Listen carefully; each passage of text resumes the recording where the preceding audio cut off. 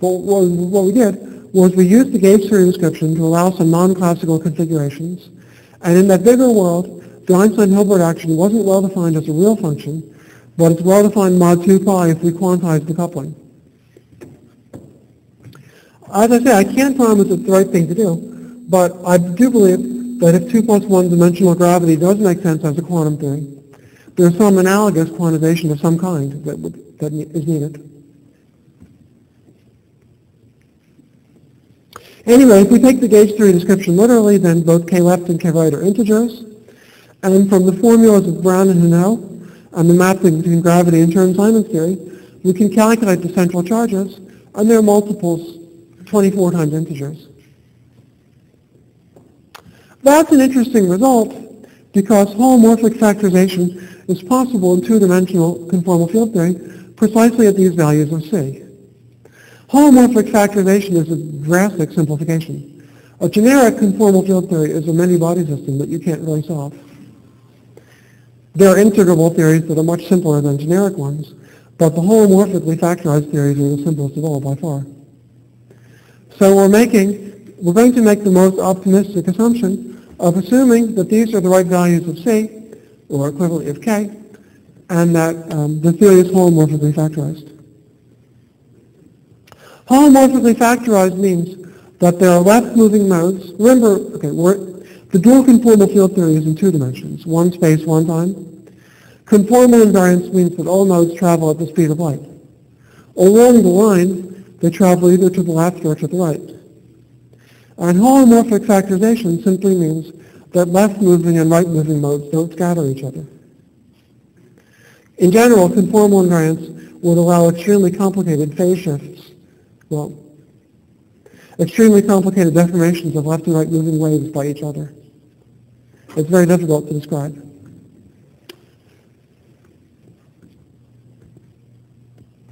So in continuing, we're going to assume holomorphic factorization. That is, we'll assume that there's a theory of left moving waves and a separate theory of right moving waves, waves. They don't interact with each other, and we'll just try to describe one of them. That's a drastic simplification because we're now in one dimension instead of two. Or in Euclidean space because our functions will now be holomorphic. So we're just trying to describe the holomorphic part of the theory, a holomorphic conformal field theory with central charge 24k for some integer k. Now, one simple fact is that the ground state of such a theory is minus c over 24 which is minus k. And that's actually the simplest way to see that k, C should be divisible by 24 for holomorphic factorization. The ground state energy is, has to be an integer if the left movers by themselves should be a good modular invariant theory. But it actually is minus c over 24. So we want c over 24 to be an integer. So it was kind of nice when we got this 24 by computing the central charge. But there was a little bit of sleight of hand involved. I won't try to explain it now, but if you wish, you can look in the paper. Okay, well, the ground state has energy minus k. What else is there apart from the ground state? Well, naively speaking, nothing, because 2 plus 1 dimensional gravity is trivial. But that isn't right. At least there are boundary excitations that lead to the Virasoro algebra of Brown and Henneaux. Now, if there were no other excitations, the partition function in genus 1 would be this thing. The partition function is defined as the trace of q to the h. So it's the sum over all energy levels. Let's say an energy level n, the number of levels of that energy times q to the n. Q is taken to be less than 1 so that the sum converges. So the ground state had energy minus k, so its contribution is q to the minus k. But according to Brown and Henneaux, there's a Virasoro algebra, and we can act on the ground state with the Virasoro generators. So we can make more general states, for example, L minus 2 to the n, or to the a sub 2, let's say, acting on the ground state or L minus 3 to the A sub 3 times L minus 2 to the A sub 2 acting on the ground state, and so on, we can make a product of the Virasoro generators acting on the ground state. That'll give an energy that'll be minus K plus 2A2 plus 3A3 and so on. Of course, to make finite energy states, we should only create states by acting with finitely many LNs for any given state. So what has been written here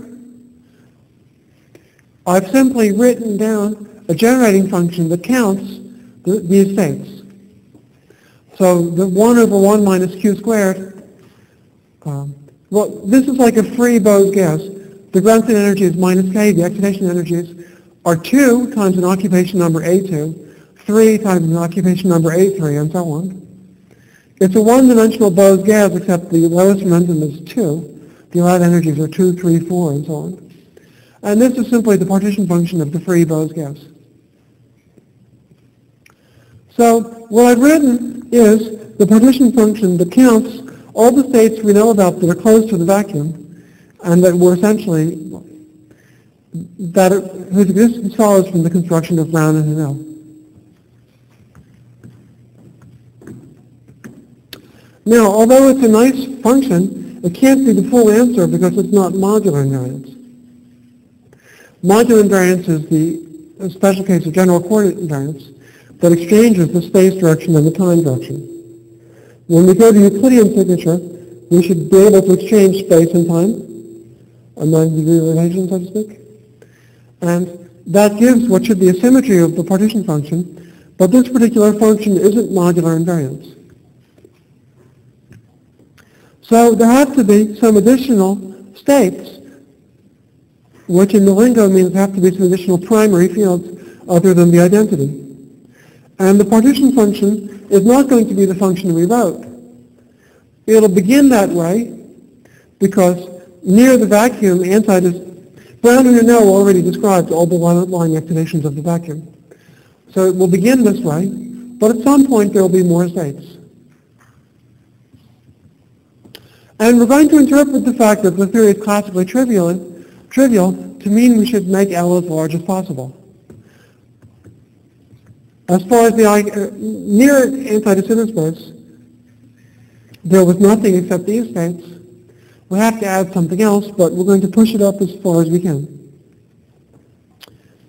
It turns out that the largest you can make L is k plus 1, and if this is the right value, then the partition function is uniquely determined. And my proposal is that this gives the partition function of the dual conformal field theory, including the black holes.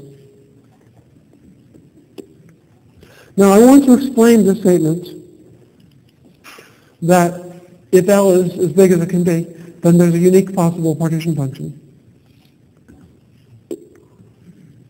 A Riemann surface of genus 1, they're parameterized by something called the J function. Well,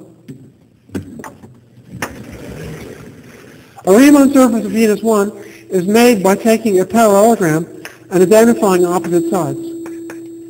And one starts with the complex number tau on the upper half plane, such that the corners of the parallelogram are at 0, 1 tau and 1 plus tau.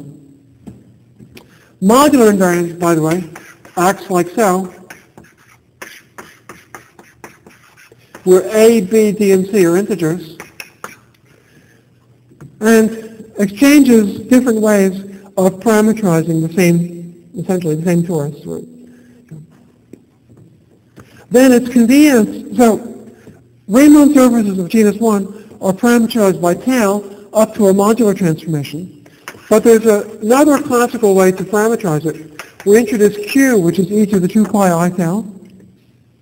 And then there's this magical function of q, the j function, which has a simple pole at q equals 0, and then a Laurent expansion around it. So Riemann surfaces of genus 1 are in one-to-one correspondence with values of j.